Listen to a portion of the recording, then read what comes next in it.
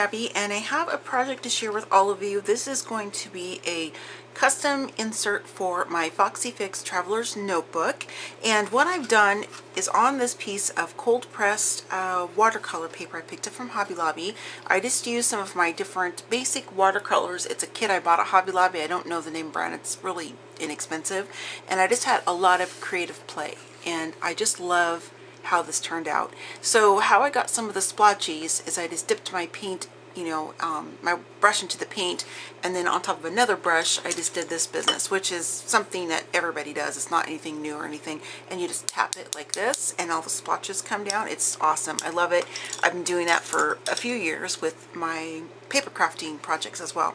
So and then on the edging here you're going to see some of the gold distress stain uh, or paint that I use from Tim Holtz. I'll have a video, or excuse me, a picture either at the beginning or the end of this video sharing with you the different products that I used. Because I didn't film this, I was just having a, um, some creative play one night while editing some videos and um, I forgot to turn the camera on. So I'm going to be turning this into a cover for my Traveler's Notebook. So I wanted to show it to you before I um, made it and bent it down. So this is going to be the width. Now I didn't like pre-plan the size. I just, this this is the pad of paper that I purchased for watercolor. I didn't want to get the huge sheets because I felt like that was too big for me. Um, my husband did, but I can use his and cut it down or whatever. And they have all different kinds of sizes. So I'm just going to be folding this in half and I'm going to make this paper fit this insert. So I'm going to show you how I'm going to do that um, or share with you first. So this is some old um, watercolor type of paper art paper that I picked up um, from a free crafty um, haul I had quite a while ago. And it's just really cool. I hope we can kind of see the texture. I'm not sure if the camera's going to focus enough to show you the texture, but you can see that around uh, my fingers there. This awesome texture. Ooh, I love it. So pretty. Oops. And um, so I have a few sheets of these. So all I'm going to do is just trim these down to the appropriate size for this size of a cover. And then my scrap pieces, of course, I will keep because I can watercolor on those, stamp on them, doodle on them, whatever, use them in other craft projects. So I'm just going to take some measurements, cut these down, and then I'll be back to show you how I'm going to put this together. So I will see you in just a little bit. Okay ladies, I'm back and as you can see I've already cut down this old canvas paper that I had and um, some graph paper that I decided to throw in the mix. I just cut down a total of nine sheets because I have, um, I wanted to put a set of three in between each canvas page so to speak and this is double-sided so it's perfect. This is just something I picked up out of the school supply section it was actually left over from my daughter's um, school supplies last year, so I thought this was perfect. And I just cut this down to fit the size of the particular watercolor paper pad that I have. So I've already went ahead and assembled the items I need to go ahead and put this book together. I decided to do a little, just a quick basic hand sewing instead of getting out my sewing machine. So I have um, my little pokey tool. I don't know what you want to technically call it. It's from We Are Memory Keepers, but it has a little pokey end right here. That, that's what I'm going to use to poke through the papers, layers of papers. Um, some binder clips to hold them together. And then I have some of this really yummy dark kind of plummy colored nylon twine and I'm going to use that to sew this together. Now the reason I'm using such a long needle is just because the fact that it had like the bigger eye on it for me and then it's easier for me to manipulate with my fingers in this the regular tiny ones like when you're darning a sock or something like that. So I'm going to go ahead and just get this started. So I already have these laid out in the format I would like them to be in and I'm just going to kind of stack them together. There might be a few pieces that are poking out over the edge like this right here. I don't care. It doesn't matter to me. It's just part of that whole eclectic handmade journal that you're doing. Now you can choose if you have textured paper like what I have here to have, you know, alternating if you want to. But since I have papers that are going to be in between each layer, it doesn't matter to me at all. So I'm going to go ahead and just fold this in half and I am going to get a little bit of crackling, but I like that. It's totally cool for me. You could cover a coat of this with some, um, you know, what's what I'm looking for? Some of your um, Mod Podge, like in matte or gel if you want to, but I personally like the feel of that. So I'm just going to pick which part I want to be the top, and I like that. So I'm going to go ahead and just eyeball this and put it down. And I'm going to go ahead and just fold this in half. Now you could use your scoreboard of course if you wanted to. I just didn't feel like digging mine out. I'm being a little bit lazy I suppose. And I'm just going to use my bone folder just to give myself a nice crease. And now I'm going to go ahead and do the same thing for these sections here.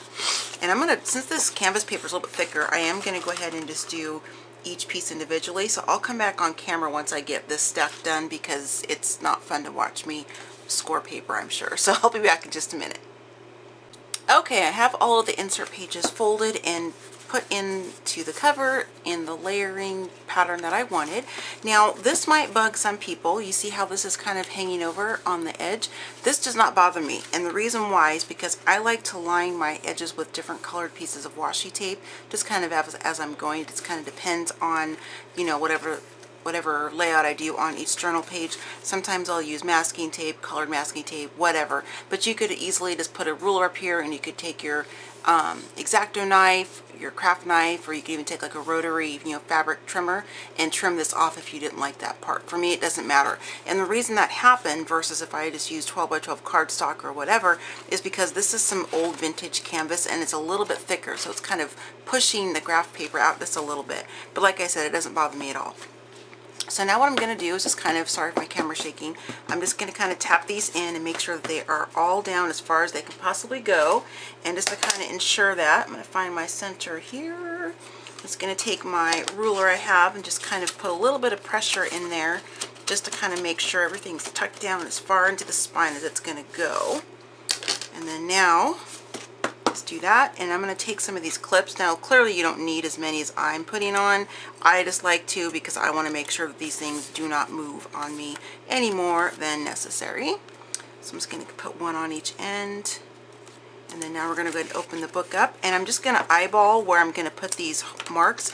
There are a ton of different ways that you can bind your books, some really fancy techniques. For me, I'm just going to do a basic three um, punch and then kind of just a basic, you know, lacing through, so to speak. Since this is going to be in my traveler's notebook, um, my Foxy Fix, and you're not going to see the spine. It's like I'm making a journal. It's going to be outside on its own. I hope that makes sense. So I'm just going to kind of open it up this way. And I'm just going to kind of eyeball where my center is. And I'm hoping this tool will be able to poke through all of those layers of canvas because it is a little bit older. So I'm going to pick it up just to make sure. And it did. You can see the tip poking out right there, so that's perfect. And then I'm just going to kind of make it look like that. And then I'm just going to go and do one, make sure I'm on camera or in frame. Just going to go ahead and do one down here. I don't want to do it too super close to the edge because I want to make sure that, um, you know, it doesn't tear or anything like that. So I'm just going to kind of eyeball it again. Looks like I'm about an inch or so from the edge. And we'll just poke that in. And then now we're just going to do the basic sewing. So I'm going to leave the, um, eh, where'd my needle go? Oh no, I think my needle came out of my string. Oh, there it is. I didn't see it. It blended into my craft mat. oh boy, I really need to be wearing my glasses. So I just have this much of a tail. You can leave as much as you want or short as you want. I'm not going to tie a knot in the end because I'm going to be just careful and not pull this all the way through. This is way more than I probably need for this, but I like to have enough just to make sure in whatever scrap I have, of course, I can just throw into my um, ribbon and trim stash. So to start with, I'm going to go ahead and poke up through the back. And I'm going to have to hold this up to my face so I can see you guys. I don't have my glasses on. So, alright, so there's that. And we're just going to go ahead and pull this through. And I wanted a little bit longer tail because this is a little bit thicker um, of this um, nylon string that I have, which I picked up for really cheap at Tuesday morning. We're going to go up to the center here. I'll just pull this through and make sure I got my tail through here. Alright, just going to pull up just a little bit and I'll leave just a little bit of a length on the back just so I don't pull all the way through on accident. I'm going to leave about that much of a tail if you're curious of how as to how much I'm going to leave. So now we're going to take my needle that keeps wanting to blend in with my craft mat. And I'm just going to go ahead and go through this hole now.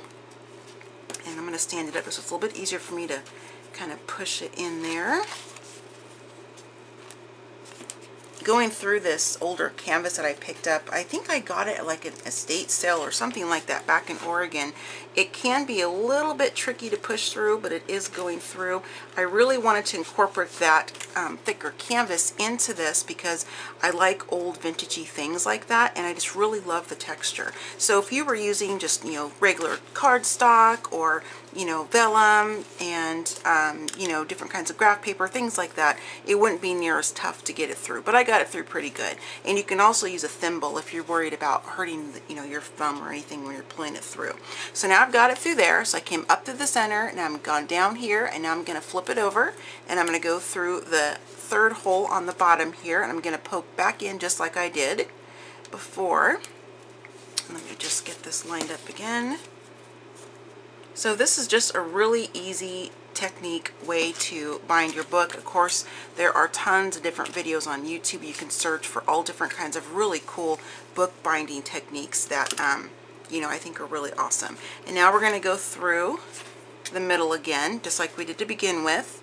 And the reason we're doing that is so the inside, sorry, I keep taking out of frame. I apologize, you guys. So um, this way, what it's going to do is it's going to give us that purple, you know, kind of an even stitching right there. And now I'm going to do is just go over here and I'm just going to make a basic knot. So I'm just going to clip this to where the length I think I want, because I don't mind a little bit of a tail, because I might want to maybe put some, um, once I take this out of my notebook, once it's full, I may want to um, put like a little bead charm or something like that. So I'm just going to do just a couple knots here. You can do box knots if you want you know, you can get as fancy as you want to with this. It's, you know, and I'm going to, you don't have to do this, but I want to. I like the look. I'm just picking up that spine, and I'm going to do um, the spine string, and I'm going to do just a couple more quick knots here, just to make sure it's really going to stay in there for me. And then you can leave the tail, like I said, I'm going to cut it down just a little bit longer, or a little bit shorter, excuse me, and take off my binder clips. And there you have it. You have your own custom insert for your traveler's notebook. And I'll go ahead and get mine out so I can show you how it will look. This is the seersucker case that I pack mine around in. And especially when I'm going to appointments and things like that. I'm just pulling out a couple of my um, pencil pouches that I use when I have different art supplies in there. So this is my Foxy Fix Traveler's Notebook. I love it. This is Lilac. I think her name's going to be Lilac Beauty. Or one of my viewers suggested Lily, and I forgot who suggested that, but once I officially name it, I will be sure to um, credit her name because she's one that came up with it. So I'm just going to go ahead and put this in. I think what I'll do is go and take out this insert here because I'm still working on some on that one for some different art. And my little Planner Society girl she wants to get caught up on my um, band here, but you got to come out. I'm sorry. I know it's delightful to be inside the notebook, but okay. Let me get this out. Ah! Oh, there I see it. Okay, this way. And you guys didn't realize you were going to get a little bit of a game show. I'll be trying to solve a puzzle here. so I'm just going to go ahead and pull up this band, and then I'm going to find my center, which is easy to find because I used a dark um, piece of twine and just put it in there and it fits in just really nicely. I love it. Um, you of course can make this wider. The reason I went with this size again is because this is the size of watercolor pad that I have at this point in time. So there it is and I love it. I have some different textures. I can, you know, um, do some really fun mixed media journaling on here. I can always, you can always put like, you know, um, sprays and things like this on the on the different graph papers and if it bleeds through I don't mind that. I think that's awesome.